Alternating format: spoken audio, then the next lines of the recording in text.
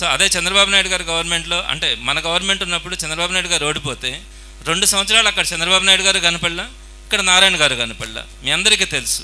కనీసం వెళ్ళి చూసే మనిషి కూడా లేడు. చేస్తే అంటే ఒకవేళ వెళ్ళినా కూడా వారు ఏదైనా చేస్తారనే నమ్మకం కూడా లేదు. అదే ఈరోజు జగన్మోహన్ రెడ్డి గారు పదకొండు సీట్లకు పరిమితం అయిందంటే చాలామంది షాక్ అయ్యారు. ఇంకా ఆ పార్టీ ఎట్లుంటుంది ఆ పార్టీ మళ్ళీ నిలబడగలుగుతుందా అని.